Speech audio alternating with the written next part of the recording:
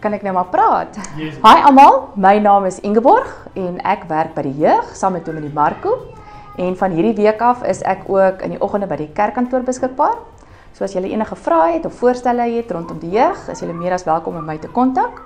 En aan almal wat hierdie week verjaar, ons hoop julle het 'n wonderlike dag en 'n geseënde jaar.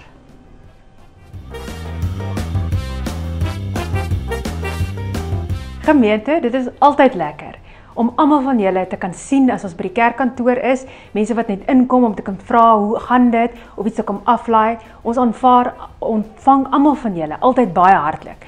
En ek wil julle dus net herinner dat ons julle enige dag van maandag tot vrydag 8uur tot 1uur graag by die kerkkantoor wil sien om julle te help met enige iets en ook as daar vrae is of julle wil sommer net kom koffie drink. En uh in hierdie tyd waarin ons leef, is dit geweldig moeilik vir sommige gesinne wat nie altyd die voorreg het wat almal van ons nog het om genoeg te kan hê om elke maand vir ons kinders te kan sorg nie. En in die lig is daar 'n skoolmeisie wat uh, nie genoeg skoolfonds het om hierdie jaar te kan deurgaan nie.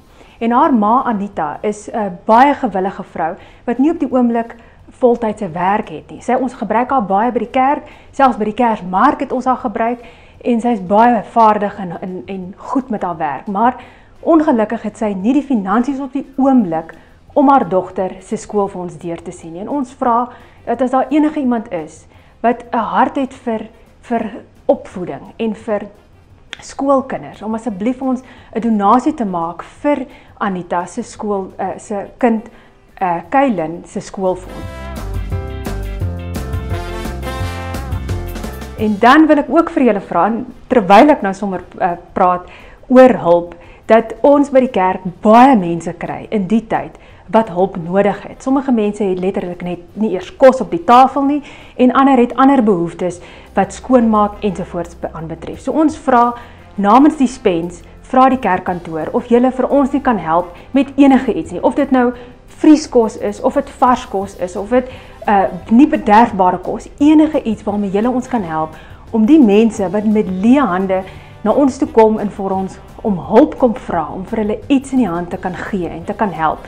En natuurlik probeer ons hulle almal ondersteun en en wil ons graag hê dat hulle moet werk, maar terwyl hulle nie werk het nie en daar nie kos op die tafel is nie, sal ons graag vir die mense ten minste iets in die hand wil gee om te sê Vanaand kan jy ten minste vir jou kinders iets maak om te eet. En ons sê ook baie dankie vir almal wat so getrou ons help met alles waarvoor ons vra. En ons weet dat sonder julle ons nie hierdie projekte sal kan aanpak nie. Ons is regtig uit ons hart uit opreg dankbaar vir elkeen van julle.